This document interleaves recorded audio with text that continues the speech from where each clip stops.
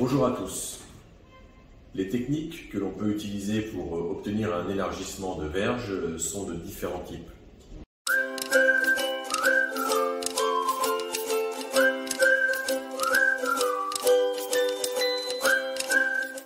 La plus utilisée actuellement consiste à faire une lipoaspiration de la graisse abdominale ou encore de la graisse des cuisses, puis à préparer cette graisse avant de la réinjecter sous la peau du fourreau de la verge. Cette intervention chirurgicale se pratique au cours d'une hospitalisation de 24 heures sous anesthésie générale.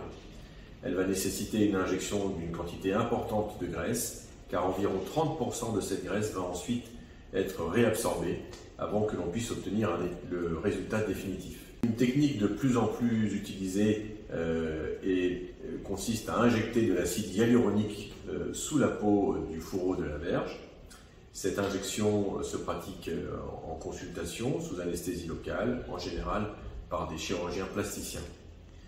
Cette injection a pour euh, bénéfice euh, par rapport aux injections de graisse de ne pas nécessiter d'anesthésie générale et d'être moins invasive car il n'y a pas de prélèvement de graisse au niveau de l'abdomen.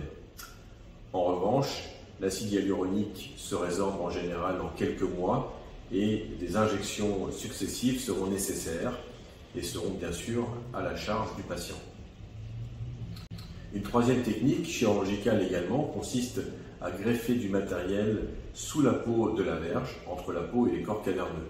Il peut s'agir de matrices acellulaires ou encore euh, d'une prothèse que l'on appelle Pénouma, qui n'est pour l'instant pas disponible sur le marché français.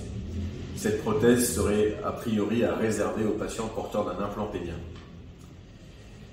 Dans le cadre euh, de la prise en charge d'un élargissement de verge, les greffes euh, sous-cutanées, que ce soit de matrices acellulaires ou de matériel prothétique, sont à mon avis à éviter euh, en raison de l'importance du risque d'infection qui est associé à ce type d'intervention. Des injections de graisse ou encore d'acide hyaluronique peuvent quant à elles donner de très bons résultats. À bientôt.